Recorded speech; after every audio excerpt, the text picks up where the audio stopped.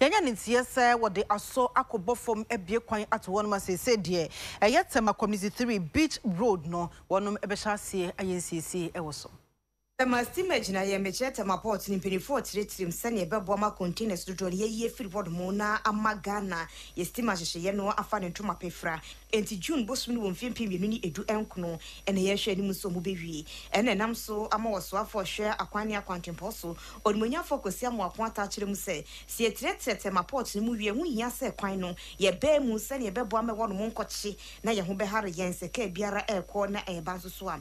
Ɛno nti na dwumadi a wɔredi no, wɔn ani abere wɔ ho paa. Wɔkyerɛ sɛ Meridian Port Servicefoɔ na afa ho ka nyinaa. It is expected Ladies and Gentlemen that this project will be completed before the opening of the new port scheduled for June.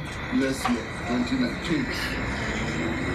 Know the capabilities of Meridian Port Services, you can testify to their efficiency, and we know that they will not miss this deadline. Kwankyerɛfo a ɔno na ɔkɔ Takoradi Port steamer gyinaeɛ no a ɔda ano no yɛ Captain Ebenezer Afadzi. Ɔde to yɔkyerɛ mu sɛ ɛduru anwummere a yɛ a na traffic no ano ɔden paa wɔ steamer nnyinaeɛ ahodoɔ no mu, enti sɛ aban nso wɔ kyerɛkyerɛmu a ɛyɛ. Yɛabɛyɛ akyerɛ no yi, ɔbɛba no dɛ ndzɛmba a nkakrankra no ɔfa dɛm nsuhyɛndzi agua no abɔ Yesu ntamakorkɔto no mu no, ɔbɔdɔɔ so sen dza seseiara ɔfa no mu.